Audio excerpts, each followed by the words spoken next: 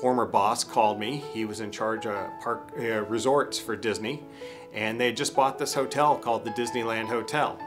So I came out, went to work there as an assistant in food and beverage, and over time became resident manager, was involved in the acquisition of the Paradise Pier Hotel, and then got to work on the Grand Californian Hotel and ultimately vice president of hotels in downtown Disney.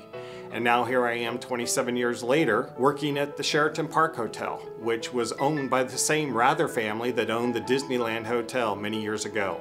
So I've gone full circle and I'm really excited about this new project in Anaheim.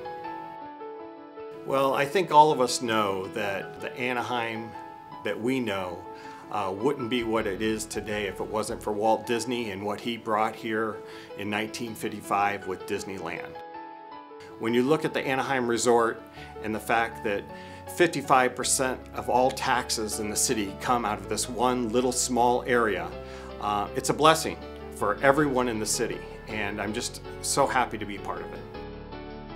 I've been very blessed in my career to have wonderful people at every property that I've worked at, helping me along the way, mentoring me, guiding me, and having a whole lot of fun at the same time. And that's the key to success.